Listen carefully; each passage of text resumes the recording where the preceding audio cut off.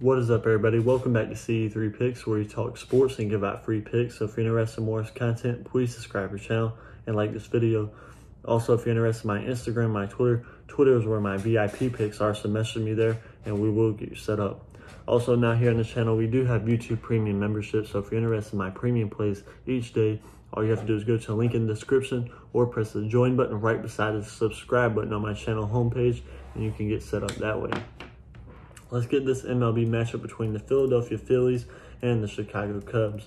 Well, the Phillies won yesterday's game and absolutely lit them up 13 to 3. And that's kind of been the story of the Cubs lately. They've just been really bad. The Cubs have not won a game since June 25th on a 10 game losing streak right now. Just can't get anything going. The pitchers on the mound for this game, the Phillies are going Aaron Nola so far this year, 5 and 5 with a 4.44 ERA and 118 strikeouts. And then the Cubs are going Jake Arrieta, 5 and 8 this year with a 5.57 ERA and 62 strikeouts. With Aaron Nola on the mound and just a Cubs team who simply has just been really bad defensively, hitting the ball. I just don't I just don't see any other way to go here than the Phillies. I think Aaron Nola will get them past once again. So give me the Philadelphia Phillies, and that's going to be my free pick. If you're interested in more content, please subscribe to the channel and like this video.